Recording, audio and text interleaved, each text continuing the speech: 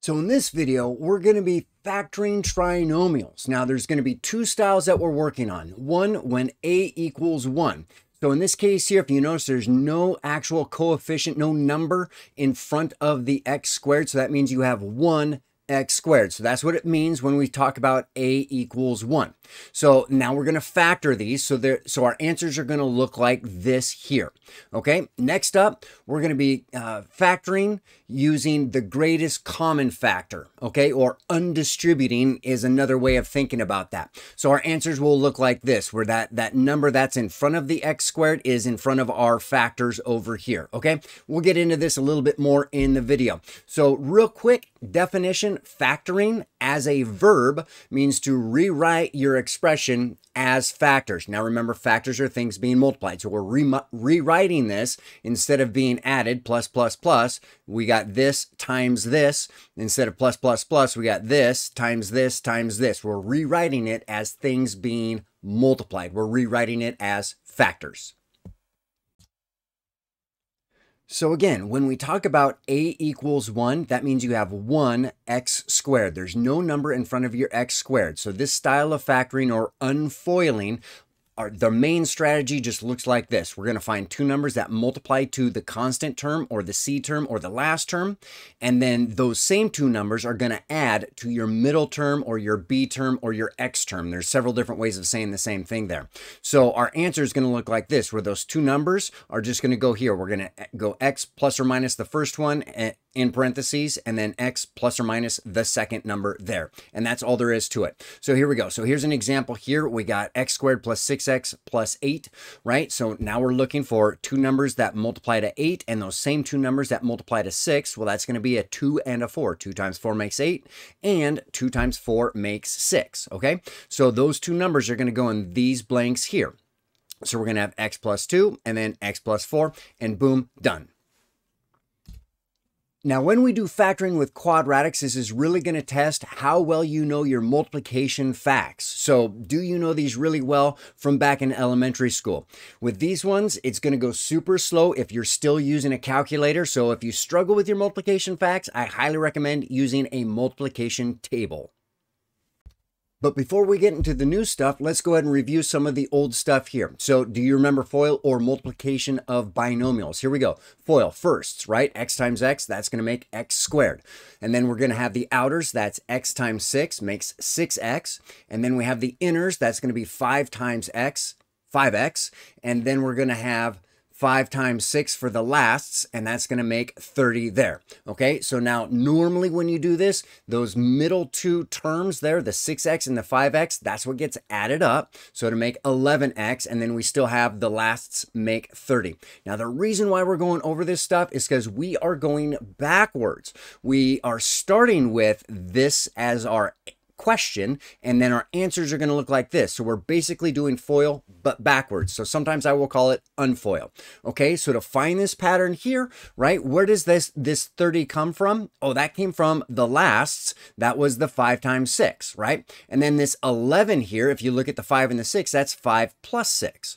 Okay, 5 plus 6 came from the inners and the outers. Okay, so when we go to unfoil or factor these, that's the pattern we're looking for. So here we're going to factor x squared plus 11x plus 24. Now this is a equals 1 style. So look, here's standard form. See, we have an a equals 1. We have a 1x squared. So you don't write the 1 in front of the x squared. You just write x squared.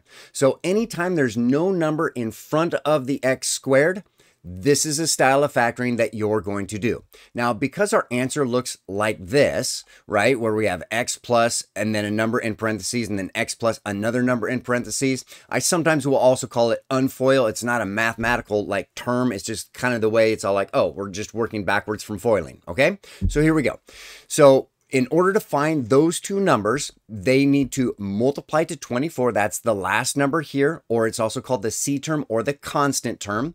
And then they're also going to add to 11. That's the middle term or the X term or the B term from standard form, the B term and then the C term it multiplies to. Okay, so here we go. Normally you start by looking at numbers that multiply to, in this case, 24. So that's going to be a 1 and then a 24. And then we're going to have a 2 and a 12. And then we're going to have 3 times 8 and then we're going to have a 4 times 6, and then we're going to have a 5 times, nope, 5 doesn't go into 24, so we don't worry about 5, and then we, next we would do 6, uh, but we already have a 6 here, so we are done. This is the complete list of pairs of numbers that multiply to 24. Now we just look at which pair also adds to 11. So we can do 1 plus 24, uh, it's 25, nope. 2 plus 12, 14, 3 plus 8, boom, there it is. That does make 11. The 4 plus 6 makes 10. Okay, so that means that our, our two numbers are going to be a 3 and an 8. So they go in there. So we're going to have x plus 3 and then x plus 8 as our two factors. Okay, now it is important, at least starting out, to double check hey, is this still correct? Okay, so with these ones here, we already know the firsts and the last are going to work out. We have x times x, that's x squared. And then we have an x times 8, that's an 8x. We have the 3 times x, that's 3x. And then 3 times 8 makes 24. So we already know that the 24 and the x squared match up. Now we just need to add these two numbers. 8 plus 3 does make 11 x's. 8x plus 3x makes 11x, okay? So now we know, yep, we got it right. So let's have you go ahead and try this one out on your own. Pause the video, then come on back and see how you did. So here we're going to factor x squared plus 14x plus 24. Now this is just a 1x squared, so that means we're doing the a equals 1 style factoring or working backwards from FOILing, right? So our answer is going to look like this. Now the numbers that go here and here, well, they're going to multiply to 24 and they are going to add to 14. So we already have our list from example 1 of pairs of numbers that multiply to 24. Now we're just looking for the pair that adds to 14. So 1 plus 24 is 25, 2 plus 12, boom, there it is. Those two numbers add to 14. So that's going to go there and there. So we're going to have x plus 2 and x plus 12. Now again, at least starting out, I do recommend double checking just to make sure. x times x for the first makes x squared, x times 12, 12x, 2 times x is 2x, and then 2 times 12 makes 24. So the 24s match, the x squareds match, and the 12x plus 2x does make 14. So let's have you go ahead and try this one out on your own. Pause the video, then come on back and see how you did. Here we go with factoring x squared minus 2x minus 24. Notice we do have a equals 1, right? There's just one x squared or there's no number in front of the x squared. So we're just doing kind of the basic unfoiling or factoring. So our answer will look like this, x plus a number and x plus another number. Now remember the two numbers that go there, they're going to multiply to the constant term. That's going to be the negative 24 or the c term. And then they're going to add to the b term or the x term, right? So multiplies to negative 24, adds to negative 2. So you could make a list of all the pairs of numbers that multiply to negative 24. So you could do negative 1 times 24. You could do negative 2 times 12, negative 3 times 8, negative 4 times 6, and then the negative could go on the other number as well. So it would look like that. And now you're just looking for the pair of numbers that adds to a negative 2. In that case, that would be the 4 and the negative 6 add to negative 2. So you could do it that way. Or you could look at it kind of this way. Multiplies to a, a regular 24, and then they're going to subtract to a negative 2. So we know that one's positive and the other one is already negative. And in this case here, we would only need one column of numbers, right? The 1 and 24, 2 and 12, 3 and 8, 4 and 6. Now we're looking for the ones that their difference is 2 or, or a negative 2. Okay, so that would be a 4 minus 6 makes negative 2. So again, one's positive, the other one's negative because it multiplies to a negative, and then we pick and then we do subtraction on this. So 1 minus 24, 2 minus 12, 3 minus 8 makes 5, 4 minus 6, that makes 2. Okay, so that's the one we're looking for there. It's going to be the 4 and the 6, right? So 4 can go in the positive section uh, or the positive one, and then the subtract one is going to be the 6 because when we add these together, we want a negative number. So the bigger one has to be negative. So this isn't quite mathematically correct, but it's kind of close to like what you're thinking as you go through these, okay? Now, again, when you're first learning these, it is important just do a quick double check, make sure what you wrote was right or your answer was correct. So refoil these back out or remultiply the binomials. x times x is x squared, x times 6, negative 6. Now the inners, 4 times x is 4x, and 4 times negative 6 is a negative 24. So we got the negative 24 that matches, the x squared matches, and then negative 6 plus 4 does indeed make negative 2. So now we're going to switch things up just a little bit here. Notice when we go to factor 2x squared plus 10x minus 12, we don't have a 1x squared there, we have a 2x squared, okay? So a does not equal 1, it equals 2 for this question here. So notice all of them can be divided by 2. So we are going to undistribute a factor of 2. Now this is greatest common factor is kind of the, the mathematical correct way of saying it, but undistribute kind of makes it a little bit more descriptive as to what we're doing. So we're going to undistribute a 2 to all three terms. So our next step is going to look like this, 2 and then parentheses, and then to find this term here, 2x squared, divided by 2 just makes plain old x squared. 10x divided by 2 makes a 5x, and then a minus 12 divided by 2 makes a minus 6. So we undistributed the 2, or pulled out the greatest common factor, the GCF. Now, what's in the middle here looks very similar to those A equals 1 style unfoiling or factoring. And that's exactly what we're going to end up doing. So if you notice, it's going to multiply these two numbers here. They're going to multiply to a negative 6. So we know one's positive, the other one's negative. And then they're going to add to a positive 5. Okay. So that's what we're thinking. Instead of like adding to a positive 5, because one's positive, one's negative, we can think that they are going to subtract to a 5, okay? So here we go. This is like for mental arithmetic. I'll show you another way here in a sec, okay?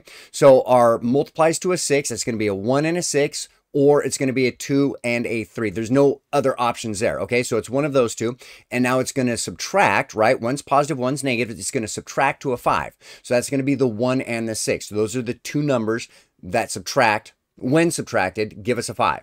Now notice here, it's got to subtract to a positive 5, which means that the bigger number has to be positive. In other words, the 6 is positive. So it's a plus 6 and a minus 1. So check it out. Now going back, 6 minus 1 makes a positive 5. 6 times a negative 1 makes a negative 6. Okay, so this is kind of the mental arithmetic way of doing it. Now if you do like the list, boom, we can do that too. Check this out. Multiplies to a negative 6, adds to a 5. That's going to be a negative 1 and a 6, a negative 2 or a and a 3 and then the negative symbol's got to go on the other number for the other side or the other column of our list. Now we're just looking for the one, uh, the pair that adds to a positive 5, and that's this one here. So we got the negative 1 and the plus 6 or positive 6 there. Now for the the the negative one and the positive six it doesn't matter what order you put them in um, because they both add to the same thing and multiply to the same thing uh, again when we are going through these when we're first learning it is a really good idea to double check okay so that's going to be an x squared x times x for the firsts x times negative 1 is a negative 1x or just negative x. You don't have to write the 1 there. And then for the inners, 6 times x, and then 6 times negative 1 makes negative 6 there. So now we can check this. All right, so the yeah, we got the negative 6 there, we have the x squared there, and then the inners and outers, we have a 6x minus 1x does indeed make a positive 5x. And then if we wanted to go one step more and double check, we're multiply 2 to all of these, and we end up with our original one back. Okay, so now let's have you go ahead and try this one out on your own. Pause the video and then come on back and see how you did. So here we are going to factor 3x squared minus 15x plus 18. Now, first thing to notice is that we have a number in front of the x squared. So in this case here, a does not equal 1, a equals 3. So anytime we have a number in front of the x squared, we want to see is there a greatest common factor? And indeed there is. All three of these terms can be divided by 3. So that's basically what we're going to do. We're going to undistribute a 3 from each of those terms, okay? So our next step is going to look like this. After we've undistributed the 3, it still stays out in front there. So 3x squared divided by 3 makes plain old x squared. And then negative 15x divided by 3 makes negative or minus 5x. And then 18 divided by 3, we have a plus 6. Now from this step, now we can do the unfoil factoring style here.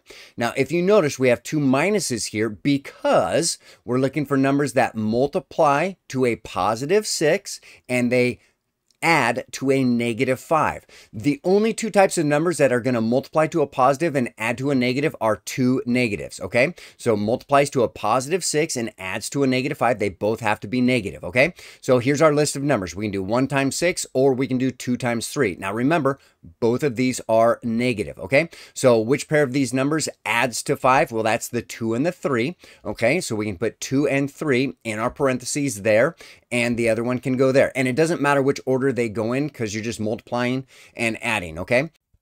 Now remember to double check these, especially when you're first learning. So here we go. We're going to double check to make sure what we wrote as our answer is correct. So remultiply, refoil, x times x, x squared. For the outers, x times negative 3 minus 3x, negative 2 times x for the inners, minus 2x, and negative 2 times negative 3 makes a positive 6. Now, double check this, right? The 6's match up, the x squareds match up, good, good, and negative 3 and negative 2 added up make negative 5x, so we know we're good. So now let's do a quick recap here. So anytime we are factoring one that looks like this, where we have no number in front of the x squared, that means a equals 1. We have a 1x squared. So we're just going to do a quick unfoiling. So our answer is going to be in this form here, where these two numbers here multiply to a 12 and add to an 8. So we can make a list either on paper or you can just do it in your head. Just go through things that multiply to 12 and then quickly add those in your head to find the pair that actually works for multiplying to 12 and adding to 8, okay? And then do a quick refoil or remultiply just to double check to make sure you're correct until you get like really good at it, okay? And then we'll have ones that look like this where the a does not equal 1. We have a number in front of the x squared. So step 1 on all of those is check and see is there a greatest common factor? Can I undistribute a number? And in this case, we can undistribute a 2 from each of these three factors. So now we're here, divide by 2, divide by 2, divide by 2. Now for this part that's in the parentheses, now we can do the A equals 1 unfoil style um, there. So now our answer would look like this. Multiplies to a negative 12 and adds to a positive 4. Those two numbers would go there. Now, if you like the video, go ahead and hit the, the like button if you don't mind. If you didn't like the video, hit the dislike button twice just to make sure.